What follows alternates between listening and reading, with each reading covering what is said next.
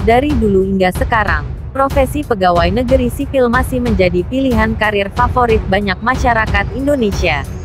Pekerjaan tetap dengan proses seleksi super ketat ini juga menjanjikan masa depan cerah. Tak heran jika banyak yang bilang PNS adalah menantu idaman mertua.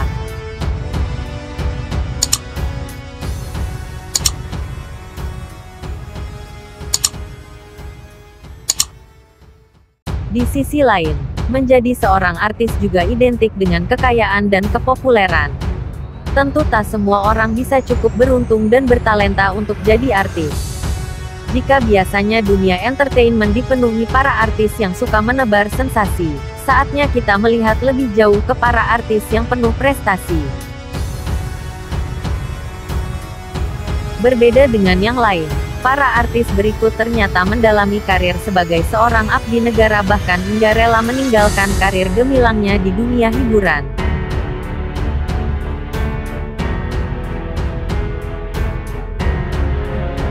1. Edwin Manansang Nama Edwin Manansang memang mulai meredup dari dunia hiburan beberapa tahun belakangan.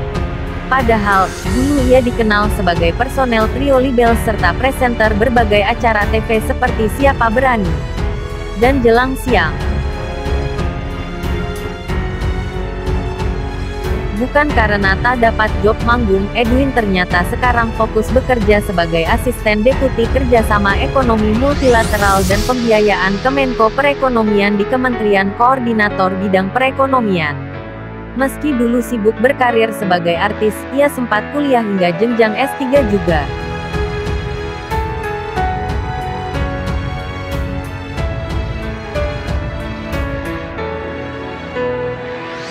2. Lisa Saraswati sering mengunjungi tempat-tempat bersejarah penuh misteri di malam hari seperti yang kita saksikan di channel YouTube-nya. Ternyata Risa Saraswati juga punya kesibukan lain. Risa yang dikenal memiliki kemampuan supranatural untuk berkomunikasi dengan makhluk tak kasat mata ternyata merupakan seorang PNS di Departemen Bina Marga dan Pengairan Kabupaten Karawang. Selama ini, Risa juga dikenal sebagai penulis berbagai novel horor tentang beberapa teman gaibnya yang kemudian diangkat menjadi film horor berdasarkan kisah nyata.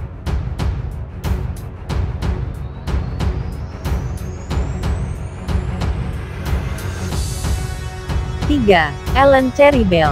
Siapa yang menyangka bahwa salah satu mantan personil girl band unyu-unyu Cherry Bell ternyata sekarang berkarir sebagai seorang pegawai negeri sipil. Ia adalah Ellen Nita Findriana. Ellen saat ini adalah seorang dosen di Politeknik Negeri Malang. Ia sudah mengajar mata kuliah aplikasi komputer bisnis selama empat tahun lamanya.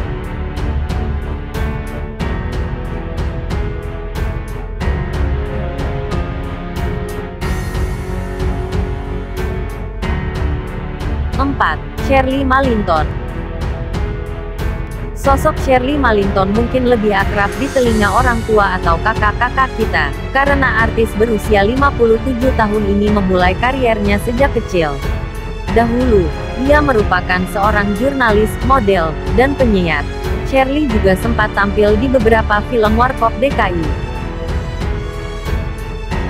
Namun Shirley memutuskan mundur dari dunia hiburan pada tahun 1989 dan bekerja di Kementerian Luar Negeri selaku diplomat, tepatnya sebagai konsul fungsi penerangan, sosial dan budaya di Konsulat Jenderal RI di Chicago.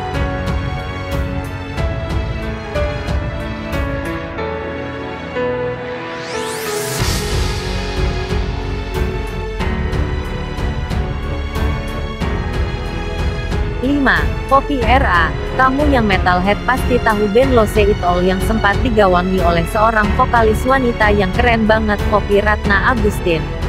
Beberapa tahun lalu, Poppy memutuskan keluar dari band yang membesarkan namanya itu dan fokus berkarir menjadi PNS di Dinas Perindustrian Perdagangan, Koperasi, dan UMKM Kabupaten Bandung Barat. Selain jago nyanyi metal, Poppy juga bisa main skateboard. Akhir kata, sekarang percayakan, bahwa banyak juga artis Indonesia yang memang memiliki otak cemerlang dan punya banyak bakat selain bernyanyi, berakting, atau bakat di depan kamera lainnya.